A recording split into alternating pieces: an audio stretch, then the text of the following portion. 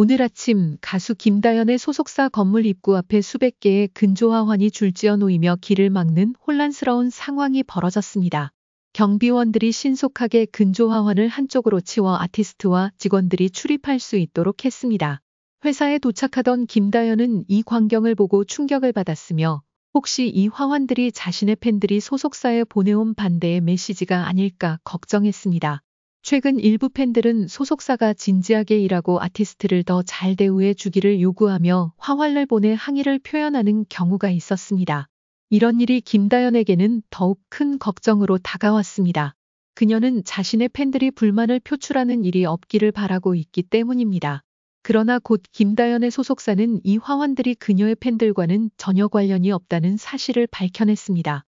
사실 이 화환들은 다른 유명 남자 그룹의 해외 팬들에 의해 잘못 보내진 것이었습니다.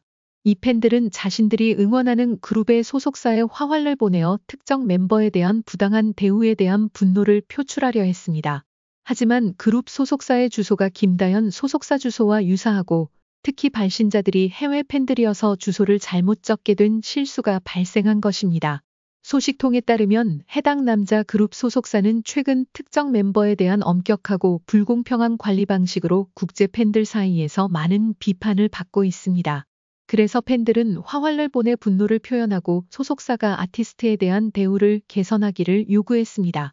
그러나 주소를 착각하는 바람에 이 화환들은 의도와는 달리 김다연 소속사에 도착해 불필요한 오해를 불러일으킨 것입니다. 정오쯤 김다연의 소속사는 배송업체와 협력하여 이 화환들을 정확한 주소로 다시 옮기면서 상황을 해결했습니다. 김다연의 소속사 입구 앞은 다시 평온하고 쾌적한 공간을 되찾았습니다. 오늘 아침의 해프닝은 단순한 오해였지만 김다연에게 팬들의 애정과 지지에 대해 다시 한번 생각하게 했습니다. 그녀는 팬들이 자신의 재능과 진솔한 성격을 좋아해 주길 바라며 소속사와의 관계에 대해 어떤 불만도 없기를 바랍니다. 다행히도 이번 사건은 그녀의 팬들과 관련이 없었지만 이를 통해 팬들이 자신의 바람을 표현하는 방식의 중요성을 다시금 일깨우게 되었습니다. 앞으로 팬들이 팬심을 표현하는 방식에 좀 더 신중을 기하고 아티스트 소속사도 팬들의 기대를 공감하고 공정하게 맞춰 나가는 계기가 되기를 바랍니다.